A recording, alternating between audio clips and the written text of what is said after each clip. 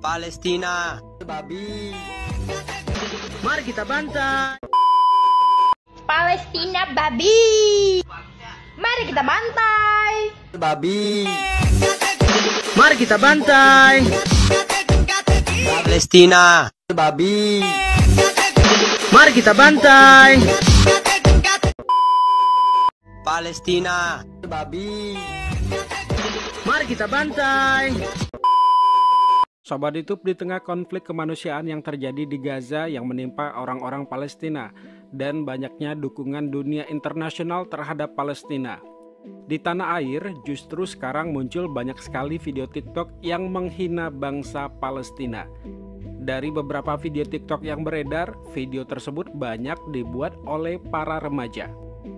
Palestina. Babi. Mari kita bantai.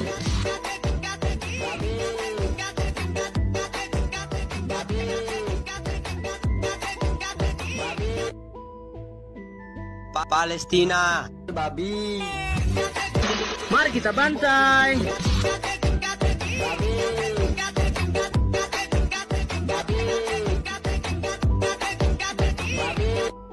Tidak hanya pria, ada juga wanita yang membuat video yang sama. Seorang wanita bernama Martaria Simbolon akhirnya mengaku menyesal dan minta maaf atas viralnya video TikTok yang ia buat. Palestina babi. Mari kita bantai.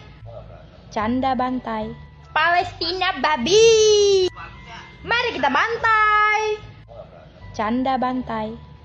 Baiklah, di sini saya mau klarifikasi tentang video saya yang sempat viral. Sebelumnya, saya benar-benar minta maaf sama teman-teman semua, terutama pendukung Palestina. Saya benar-benar nggak ada maksud begitu. Saya cuma iseng-iseng doang. Saya cuma benar-benar iseng-iseng dan nggak tahu bakalan serame itu. Jadi saya mohon sama teman-teman semua, saya tahu kalian semua pasti emosi dengan kelakuan saya. Tapi saya benar-benar nggak ada niat kayak begitu. Saya nggak tahu lagi sekarang mau gimana. Saya mau hapus videonya tapi TikTok saya sudah diblokir. Saya cuma bisa minta maaf atas kecerobohan yang saya lakukan. Saya benar-benar nggak ada maksud kayak begitu. Niat saya cuma ingin bikin video yang lagi tren, nggak lebih dari itu. Saya mohon sama teman-teman semua, tolong jangan salah paham. Mungkin cuma ini Dan sangat disayangkan hal tersebut mengingat hubungan baik antara Indonesia dan Palestina dan bagaimana dalam sejarah disebutkan dukungan tokoh Palestina terhadap perjuangan kemerdekaan Indonesia.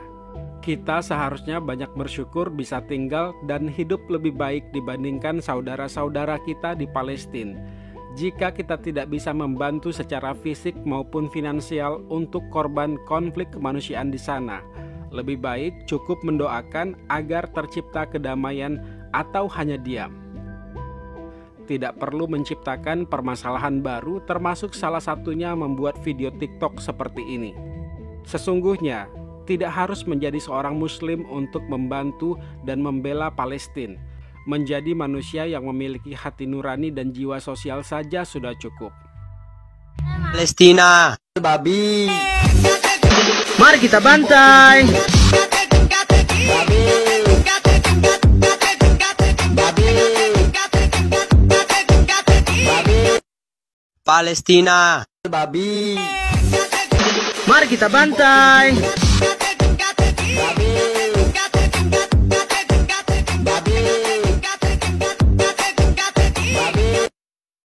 Palestina. Babi. Mari kita bantai. Babi. Babi.